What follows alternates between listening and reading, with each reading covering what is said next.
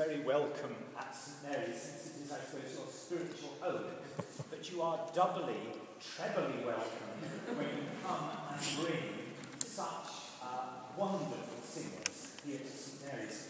I think if, like me, you, you have a particular love of unaccompanied singing, the voice on its own choral sound, um, then I think tonight will have been a, a very real treat. Um, the, the balance, your balance and your tone seem to fit the acoustic of this building absolutely perfectly. And what's more, you enjoy singing. Now, part of our enjoyment is the fact that as you've gone through the concert, so you've enjoyed it more and more. And so have we. Now, one last thing. Uh, I gather that you are going to sing at the Norwegian Church